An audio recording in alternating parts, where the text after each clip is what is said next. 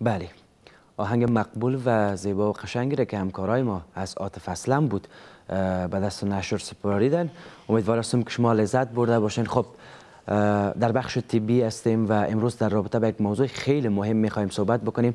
ما از تمام هموطنان عزیز و خوبم خواهشمند هستم که همین بخش برنامه را تا بیننده باشین. چون ما, چون ما تلاش می‌کنیم برای که برای معلومات شما اضافه شود و اگر یک مشکل دارین ما بتونیم از طریق تصویر و از طریق برنامه گلبانگ حل بکنیم.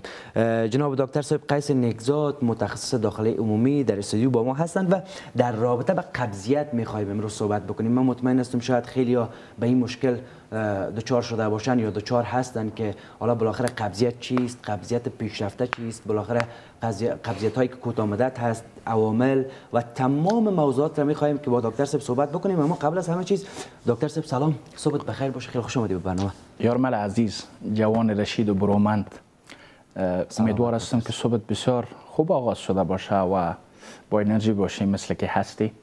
در ضمن عرض ادب احترام دارم خدمت تمام هموطنان عزیزی که من اکنون بیننده برنامه زیبایتان هستند امیدوار هستم از بحث فشرده ای که ما در مورد مورد موضوع مشخص شده می داشته باشیم بتانیم حداقل به دانش طبی هموطنان عزیز خود بیافزاییم بله. جناب دکتر صاحب شاید خیلی ها با قبضیت روبرو باشن. و بله. حالا بدانن در مورد قبضیت که چه موارد مهم را باید ما بدانیم و در آغاز اگر مقدمی در مورد این قبضیت که بالاخره چی گونه است؟ یارمل عزیز یکی از جمله مشکلات معمولی که پای اکثر مریضا را به معاینه خانه دکتر صاحبا در سطح سر دنیا میکشانه کانستیپیشن یا, یا قبضیت است. وقتی ما در مورد تعریف مشخص قبضیت صحبت می‌کنیم ای که هر فرد از قبضیت چه برداشت داره بله. تعریف های متنوعی به این موجود هست مثلا هرگاهی که یک فرد در سه روز یک مرتبه به رفع حاجت بره بله. یعنی در 72 ساعت یک مرتبه و یا ای که وقتی که بعد رفع حاجت میره درست تخلیه نشه بله. دو سوم در جریان دفع حاجت و دفع مواد غایطه احساس بسیار تنش و فشار داشته باشه بله.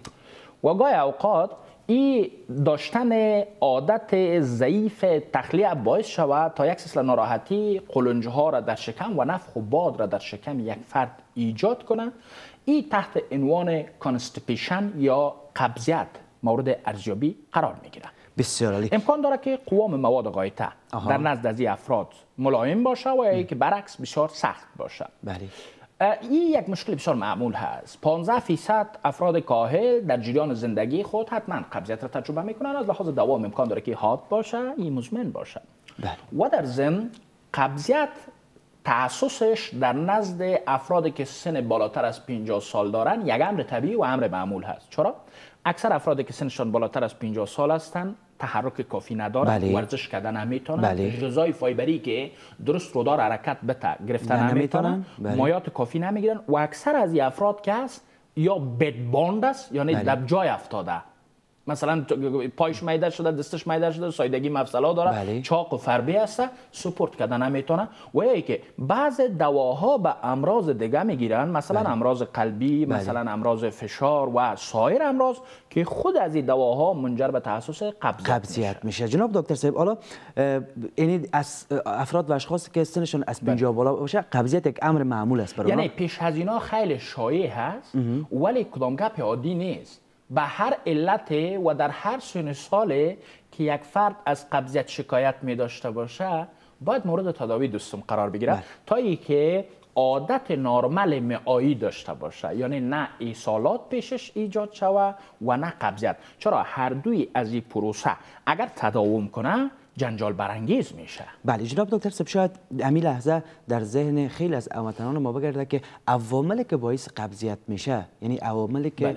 باعث به وجود آمدن قب- قبضیت در یک انسان میشه او چه هست ابتدا مستند بر معتبرترین ماخذ طبی عوامل عمده که باعث میشه تا ما قبض باشیم به تو کاتگوری تصنیف بندی میشه ما بله. یکی قبضیت های ابتدایی داریم یکی قبضیت های ثانوی داریم قبضیت ابتدایی به این مفهوم که فرد کدام مشکل سیستمیک دیگه نداره بله. خود قبضیت من حیث یک مشکل جدی پیش از ایجاد شده. یعنی خود قبضیت مرض است. بله. عرض عرض امراض سیستمیک دیگه نیست. مثلا چی معنا؟ به خاطر که بحث ما واضح تر بیان بله. بتانم یک فرد شکر داره خود دیابت یا شکر باعث میشه تا تشوشات در حرکت رودا ایجاد شه و رودا به واسه که به این شکل کار کنه آیسته آیسته کار می‌کنه. و این باعث میشه که ناشی از شکر و تشوشات عصبی شکر قبضیت پیدا کنه. این رو قبضیت به نام قبضیت ثانوی میگن. یعنی مرض دیگه چیز دیگه چیز است؟ باعث عرض قبضیت شده. بله. ولی بعض اوقات خود قبضیت من حیث مرض قد علم می‌کنه. یعنی بشه مفهوم؟ یا امو حرکت رودای یک فرد ضعیف می باشه نرمالا 8 9 متر روده که ما شما روده کلان خورده داریم باید در 35 ساعت تخلیه شود بله. اگر دوام تخلیه روده ها یا colonic transit time بیشتر از 72 ساعت میشه یعنی بیشتر از سه روز میشه. این به این مفهوم است که رودا درست حرکات نداره. یکی بله. یا که بعض اوقات بعض افراد عدم هماهنگی عضلات حوصله دارن. به چه مفهوم؟ وقتی شما به خاطر رفع حاجت میرین فشار وقتی که در داخل بطن بلند میره یک فرد زور می‌زنه. بله. موثره و واشل هایی که در دهان مقعد است و عضلاتی که در قسمت حوصله است یا ریلکس می‌کنه خدا. سست می‌سازه تا اینکه بله. دان مقد واز شوه و یک فرد تخلیه خود کرده بتونه. بعض اوقات بعض از افراد عدم هماهنگی دارن. یعنی مشکل مشکل پیش از اینا قسم ایجاد میشه که در وقت تخلیه ایوازی که عضلات سست کنه خود شخص شخ می‌کنه بله. تقلص می‌کنه. و این منجر به این میشه که تا قبضیت های ابتدایی پیش از افراد ایجاد شود. بله. این شد قبضیت های ابتدایی. ولی اگر ما در کل در مورد عوامل قبضیت بله. صحبت کنیم بیشتر از سی چل مرض هسته که باعث, باعث میشه تا یک فرد قبض شود. کلانترین و عمده‌ترین شگمه برش اشاره داشته باشم. نمبر اول مشکلات در عادات ما هست.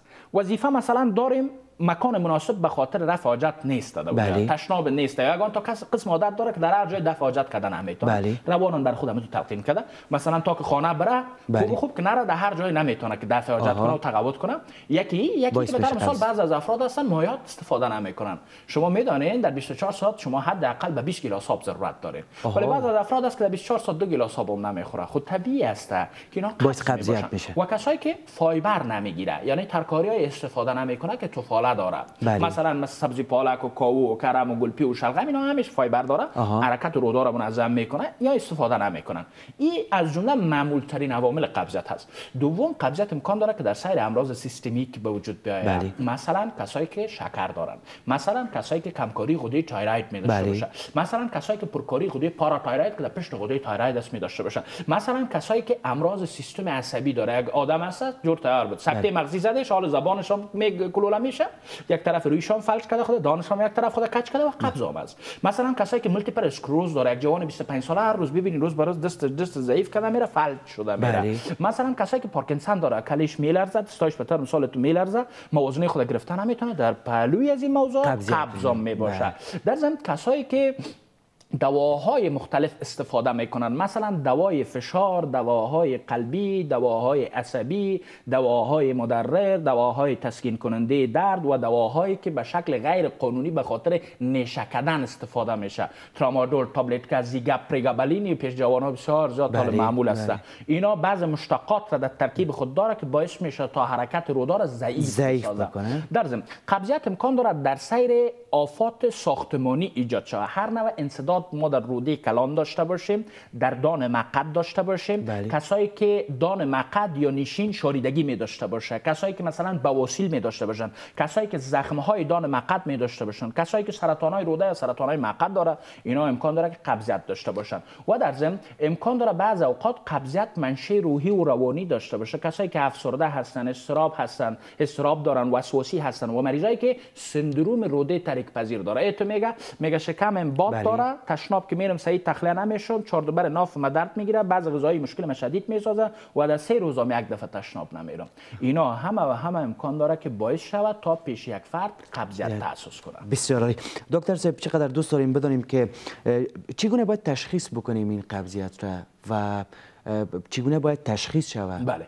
یارمل جان هدف چی هست بعضی از کسا هستن که به شکل موقتی و کوتاه مدت و حاد قبضیت تجربه می‌کنن این گپ زیاد قابل تشخیص نیست مثلا در ماه مبارک رمضان ما مایات نمی‌گیریم بله. مثلا در گرما زیاد تر آب آب خود آب بدن خود از طریق عرق از دست میتیم مثلا یک مدت است که زیاد فایبر نمی‌گیریم یک. مدت زیاد مایات نمی‌گیریم یکی مثلا کدام دوا دکتر بر ما داده به خاطر دیگه مرض موقتی بر ما قبضیت ایجاد. کرده این قبضیت های حاد است قابل تشخیص نیست اگر مایعات خود درست کنیم fiber خود درست بسازیم ورزش منظم کنیم گپ حل است ولی اگر قبضیت ها معند میشه حتی بعض قبضیت ها رو به نام long life constipation میگن. یعنی قبضیت هایی که تاک زنده, زنده است بله. مرض را در اطفال به نام مرض Hirschsprung میگن اینمی در زیر غشای مخاطی دهان مقعد رشتای عصبی است که به شکل برقی کار می‌کنه. شما وقتی که رفع حاجت نمی‌کنین این قلف می‌کنه خدا وقتی که رفع حاجت می‌کنین واز می‌کنه. در پیش از این اطفال اینمی کار کرده نمی‌تونه. در وقت رفع حاجت ایوازه که دان مقد خدا واز کنه ایت قلف میمونه. و این اطفال تا که زنده هستن قبض می‌باشن.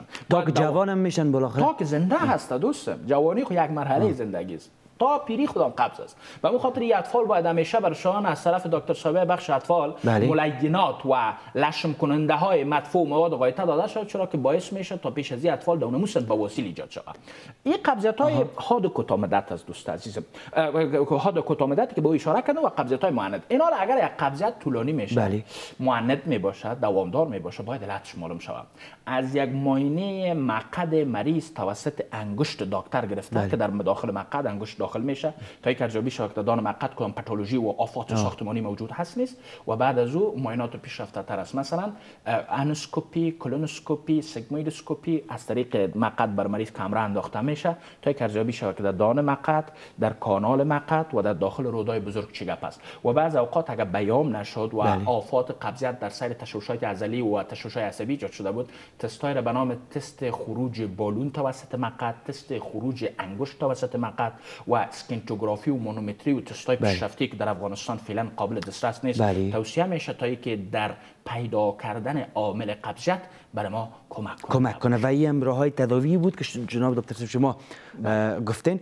بسیار زیاد سپاس. از اینکه آمدین به برنامه. دکتر صاحب یعنی خیلی خوب صحبت کردیم و من امیدوار هستم که هموطنان ما این بخش بیننده باشن تا بیننده بوده باشن تا خیلی سربلند یامین یارمل صاحب عزیز سربلند باشی. من در مورد راه های تشخیصی صحبت کردم فقط بسیار کوتاه. من می‌فهمم وقتتان کم است. بله. بسیار کوتاه. اگر شما قبضیت دارین سپورت بکنین ورزش بکنین حداقل روزمره 30 دقیقه فعالیت فیزیکی داشته باشین در 24 ساعت باید حداقل 20 تا 30 گلاس آب نوشون شود.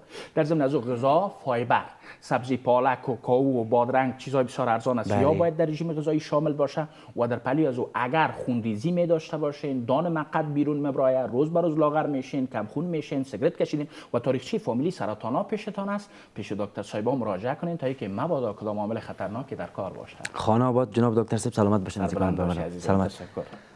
بریم سراغ وقفه و در ادامه برنامه. به نظیر با مهمانش.